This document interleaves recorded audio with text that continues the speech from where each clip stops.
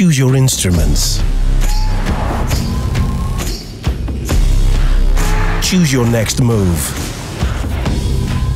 Choose your tempo. Okay, we leave you to it. Choose your grand finale. Choose your world. Choose the X6.